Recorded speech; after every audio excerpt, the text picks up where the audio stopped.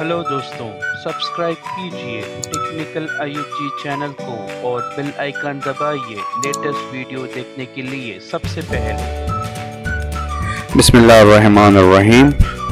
Uh, hi friends, this is Ayub Khan here and you're watching uh, Technical Ayub G channel. Uh, friends, uh, you can see this is my channel and I have uploaded lot of videos so for you. And here you can find all types of uh, uh, software flashing, FRP bypass and everything here. And I have created a playlist too so that for, for each category you can find Samsung, Sony and all other categories here. And you can also uh, check uh, uh, my other videos uh, uh, bypass the latest videos I have uploaded it.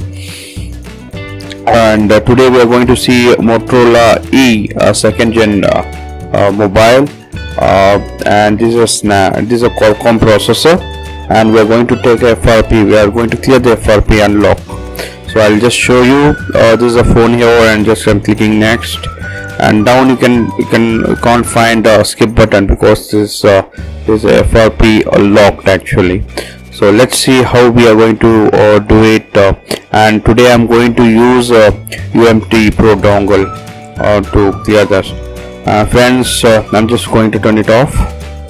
Friends please do subscribe uh, my channel and uh, uh, hit the bell icon so that uh, I'll be uploading the daily videos and you you can find in your notification in your mobile or your laptop or your computer.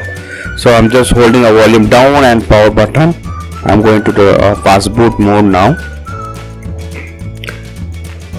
See you can see the fast boot mode and now just go ahead and connect your phone. You can see this fast boot or, or bootloader mode. It's not a problem. So I just open the UMT I'm just going to select this uh, Motorola uh, module. And now I'm going to click a new FRP button uh, to proceed further. So let's see what happens here. See automatically it detects the phone and it try to enable the uh, what you say that is a, a ADB mode ADB USB mode.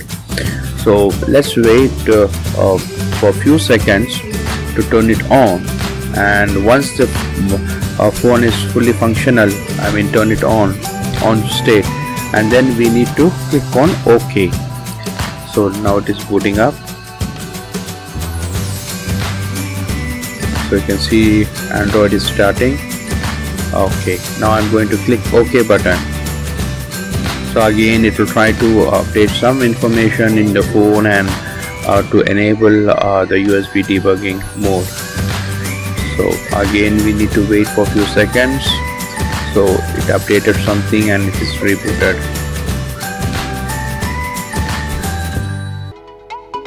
Uh, friends I, I have also uh, uh, provided my whatsapp group link and facebook link and uh, instagram link you can contact me anytime there.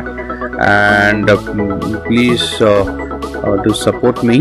So so the phone is fully on and i'm just trying to click ok.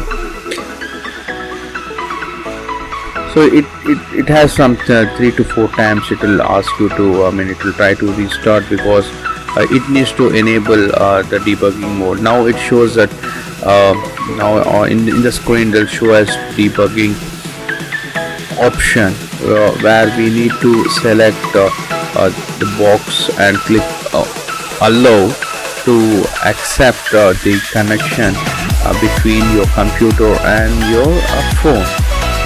So let's wait for a few seconds. So now it will be automatically it will be appearing it but it is not doing in this case.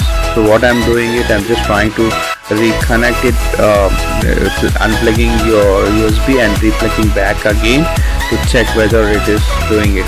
It got restarted. So let's wait for few seconds to see what happens. So most of the time it happens my friend uh, uh, for this Motorola. Sometimes what happens uh, in the one shot it will automatically it will show us um, allow uh, allow USB debugging mode will be enabled. It sometimes it won't happen. For that you need to uh, just uh, unplug your USB and reconnect it back to check. Sometimes uh, you may need to restart the phone once or twice uh, to enable it. So the same thing happening from uh, in my uh, my case too. So here it, it is not popping up so what I'm going to do I'm just remove it and reconnecting back to check it. So still it is not showing. So be please be patient uh, friends. Uh, it will take some time. I know sometimes uh, you feel bad when it is not uh, happening. So now again it is restarted. So before that don't please don't click ok. So till you see that um, uh, allow USB debugging option. So it will uh, you need to you may need to uh, try three to four times or sometimes five times also to do this one. Or you need to do this uh, do this uh, uh, steps again and again. I'm just trying to click OK but it is not happening sometimes what happens when you click OK to try to trigger it. See here now you can see. Here allow USB debugging. So you need to click uh, that option and click OK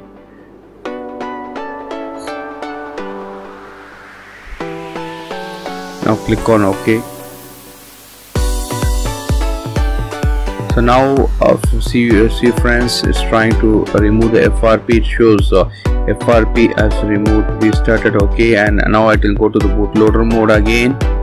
And now click on ok so that it will try to uh, do the factory reset and then it will try to uh, get in into the phone. So now i'm sure that uh, the FRP has been removed clearly without any issue. Let's see now. So let's wait for a few seconds uh, it will take some time to get in. Yeah it is loading up. Uh, friends sometimes what happens so you can see this uh, Motorola logo logo and it will it will stay for long and long. That time what you need to do you need to just try to hard reset it so it will be on. See your friends. Uh, FRP has been removed successfully without any issue so let's see in next next video. Please do subscribe to my channel and hit bell icon. Thank you. Subscribe to my channel and hit the bell icon so you never miss any video from my channel